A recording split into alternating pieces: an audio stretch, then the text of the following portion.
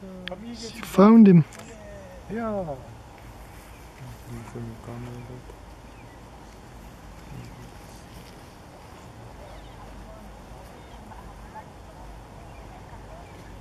Ja, vlak achter de muur. Ja. Hier is precies dichterbij gekomen.